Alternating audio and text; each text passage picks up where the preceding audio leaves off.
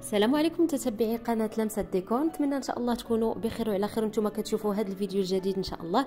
بالنسبة للناس اللي مازال ما التحقوش بالقناة فتنقول لهم بأن هذه القناة خاصة بالديكور خاصة بالإصلاحات المنزلية وكل ما يخص الديكور بصفة عامة. كذلك نشاركوا فيها آه، جميع الحيل والتدابير الخاصة بالبيوت ديالنا. كذلك نبارطاجيو فيها آه، فيديوهات قصيرة اللي كيهموا الأمر. هاد الفيديوهات خاصة بطبيعة الحال بعالم الديكور والجديد في الديكور. ونبداو بالفيديو ديال اليوم. إن شاء الله غير خاص بثمانيه ديال الطرق اللي غادي نقدم لكم واللي هي فعالة في تنظيف الأواني المنزلية المحروقة. وغادي نبداو إن شاء الله بأول طريقة اللي هي قدامكم. آه، غادي ناخذوا الأنية ديالنا اللي غادي تكون محروقة وغادي نديروا واحد الكمية من المسحوق ديال الأواني اللي كنغسلوا به الأواني. كنضيفوا ليه جوج المعالق ديال الخميرة الفورية ونزيدوا ليه واحد الكمية ديال آه ديال الخل. الخل العادي ديال المطبخ. آه كندوزو كل شيء هذاك الخليط كندوزوه على الأنية ديالنا وغادي نخليه واحد العشرة حتى ل 15 دقيقة وغادي نرجعوا عاوتاني غادي ندوزو عليه واحد المسيحة غير خفيفة. ماشي ضروري نخدموا الحلفة ديال السلك وإنما كندوزو عليه غير بحلفة عادية جدا بحال اللي كنغسلوا بها الأواني وكنبقاو ندوزو حتى كيبان لنا الاثار ديال الحرق مشى. donc أنا هاد هاد الطريقة الأولى فكنحبذها في الأواني اللي ما تيكونش فيهم داك الحرق اللي تيكون اللي تيكون كثير بزاف واللي تيكون واللي تيكون قديم. هاد الطريقة آه، كتصلح للأواني اللي تيكون فيها الحرق غير غير قليل.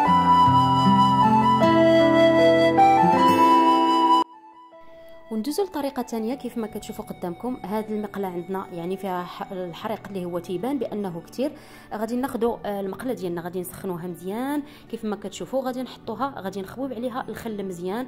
وغادي نعمروها بكربونات الصوديوم راه متوفر عند الجميع. غادي نعمروها ونسرحوها بهذه الطريقة بحال بحال كيف ما كتشوفوا في الصورة. غادي نزيدوا كذلك واحد المقدار ديال الملح فوق البيكربونات ديال الصوديوم.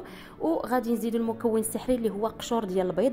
آه، قشور ديال البيض اللي غادي نطحنوه نطحنوهم وغادي نحطوهم آه، فوق الخليط ديالنا. ومن بعد إن شاء الله غادي نحطوا هاد الوريقات ديال الورق ديال المطبخ. ومن فوق منه غادي نخوي واحد الكمية اللي كبيرة ديال آه، الخل. بالنسبة للخل إلا ما كانش عندكم خل ديال التنظيف فتقدروا تستعنوا غير بالخل العادي آه، العادي ديال المطبخ. دونك كنخليوها واحد المدة ما بين 10 دقائق حتى ل 15 دقيقة اولا حتى ل 20 دقيقة كاع. ونرجعوا ونبداو ندوزو يدينا بهذه الطريقة بحال هكا. كنلقاو جميع الأوساخ بدات كتهبط بلا ما نقوموا بشي مجهود اللي هو كبير. بالنسبة للاثار اللي كتبقى آه واخا نمسحو كتبقى لنا بعض الاثار فديك الساعة نقدروا نستعملوا الحلفة ديال السلك وندوزو عليها كتحيد وكتعطي نتيجة رائعة جدا. وغادي ندوزو للطريقة الثالثة اللي هي هذه آه غادي ناخذ واحد الكمية ديال الملح وغادي نديروه على الآنية ديالنا اللي محروقة. غادي نزيدو بيكربونات الصوديوم. بيكربونات الصوديوم عندها واحد الفعالية كبيرة في هاد في القضاء على الدهون وعلى داك الحرق اللي تيكون في الأواني. وغادي نزيدو الخل الأبيض. بالنسبة للخل الأبيض كيف ما قلت لكم إلا ما كاينش الخاص بالتنظيف فنقدروا نديرو ديال آه ديال المطبخ الأبيض. غادي ناخذ هذا الورق ديال الورق ديال المطبخ. وغادي نحطوه. وغادي نزيدو من فوق منه آه واحد ربع كاس ديال آه الخل ونخليه واحد 10 دقائق 15 دقيقة. ونرجعوا كيف ما كتشوفوا كنحيدوا كنلاحظوا أن جميع الأوساخ راه بدات كتهبط.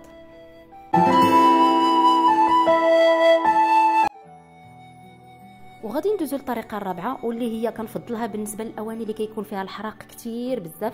غادي ناخذ واحد الكمية من معجون ديال الأسنان. نضيفوا لها جوج معالق ديال الفحم أولا ديال الفخر اللي يكون مطحون ونزيدوا جوج معالق كبار ديال أي صابون طبيعي يكون محكوك. كذلك غادي نزيدوا جوج معالق ديال بيكربونات الصوديوم وجوج معالق كبار ديال الملح. آه غادي ناخذ واحد ربع كاس ديال الخل وغادي نخلطوا هذا الخليط كامل حتى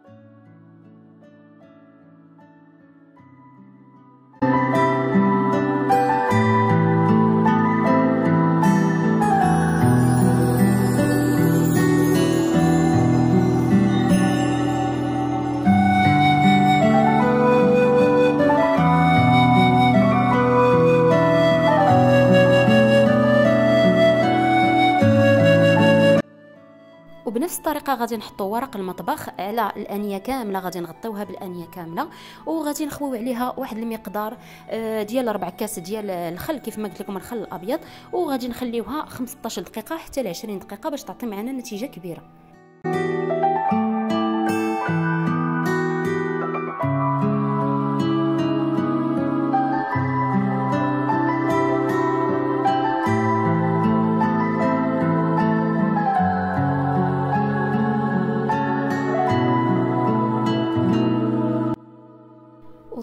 الخامسه كيف ما غتلاحظوا غادي تكون مغايرة الطرق اللي سبقوها.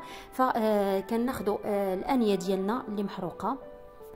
وغادي نخوي فيها واحد الكمية اللي هي كبيرة من بيكربونات الصوديوم. غادي نحاولوا نكثروا من الكمية ديال بيكربونات الصوديوم. اولا نقدروا نعوضوهم ب يعني بالخميرة الخاصة بالحلويات. حتى الخميرة الخاصة بالحلويات كتعطي حتى هي واحد الفعالية بحال بيكربونات الصوديوم. غادي نزيدوا كذلك واحد المقدار ديال آه، الخل الأبيض وغادي نديروا الماء اللي يكون سخون وغادي نشعلوا على هذيك المقلة ديالنا فوق البوطة نقصوا عليها ونخليوها حتى تطبخ مزيان. ما حدا كطبخ وما حد هذوك الدهون كلهم كيطلعوا آه، الفوق كيف ما كتشوفوا بهذه الطريقة.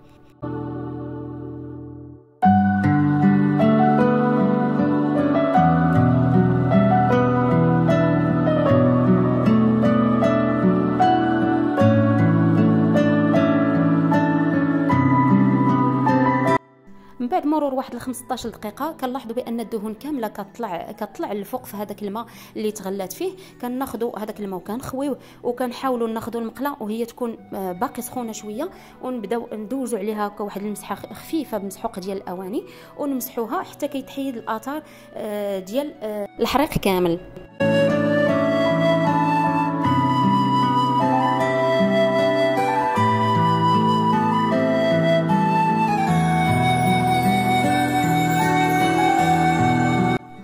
كتشوفوا فالنتيجة كتكون رائعة رائعة جدا. كيرجعوا لنا الأواني ديالنا بحال عاد باقيين جداد. بالنسبة لهذه الطريقة فنقدروا نديروها ل inox ونديروها حتى الأواني ديال آه الالومنيوم غادي ندوزو للطريقة السادسة اللي هي كالتالي غادي نحطوا الأنية ديالنا وغادي نديروا فيها كميه ديال بيكربونات الصوديوم تقريبا جوج معالق بالإضافة للخل الأبيض وغادي نزيدوا واحد الكميه ديال الماء اللي غادي يكون سخون بزاف.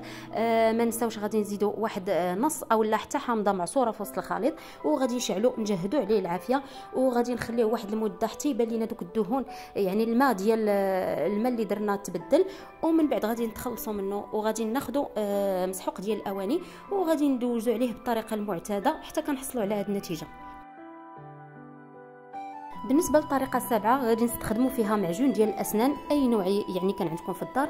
غادي نزيدوا عليه بيكربونات الصوديوم اللي هي المسحوق آه السحري. غادي نضيفوا كمية ديال الخل وغادي نحاولوا ندوزوا جميع هاد المكونات على الآنية ديالنا. آه من بعد غادي ناخذوا ورق المطبخ وغادي نحطوه على الآنية ديالنا.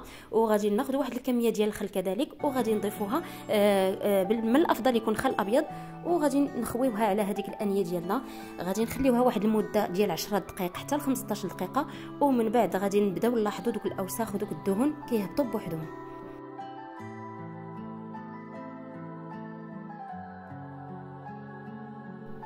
بالنسبة للطريقه الثامنه فغادي تكون على هذا الشكل هذا. غادي ناخذوا الآنية اللي عندنا فيها المشكل ديال الحرق وغادي ناخذوا واحد واحد البانيو اللي غادي يكون كبير أو لا سطل آه غادي نحطوا فيه هذيك الآنية وغادي نضيفوا ليه واحد الكمية اللي نحاولوا تكون كمية كبيرة ديال الملحة. وغادي نضيفوا كيف ما كتشوفوا آه خميرة ديال الحلويات أو لا حتى بيكربونات الصوديوم وغادي نحاولوا نديروا كمية كذلك كبيرة ديال الخل ومن الأفضل يكون خل أبيض. وغادي نحطوه في هذيك الآنية غادي نخليوه يبات ليلة كاملة والغد ليه غادي بطريقة عادية يعني بحلفة عادية غادي ندوزو على الأنية ديالنا. غادي تشوفوا بان كتعطي نتيجة أكثر من رائعة. نتمنى تكونوا استفدتوا من الطرق اللي عطيتكم آه، في هذا الفيديو. آه، نتمنى من اللي مازال ما اشتركش في القناة يشترك ويفعل زر الجرس آه، باش توصلوا إن شاء الله بكل جديد. ونبقاو دائما على تواصل نقول لكم بسلامة. حتى الفيديو آخر إن شاء الله.